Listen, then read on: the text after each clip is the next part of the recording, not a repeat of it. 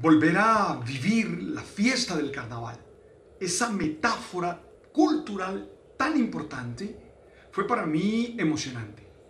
Esta vez la viví a través de esas crónicas, a través de esas historias, a través de esas maneras de contar lo que se tiene dentro y que se expresa a través de danzas, a través de disfraces, a través de anécdotas, a través de situaciones propias de nuestro mundo caribe. Realmente disfruté de las crónicas. ¿Cuál fue el criterio que tuve para elegir? Originalidad, creatividad y obviamente la construcción, que sea una construcción bien hecha y que responda, teniendo en cuenta la originalidad y la creatividad, a su objetivo de hacernos sentir eso tan emocionante que es el carnaval de Barranquilla.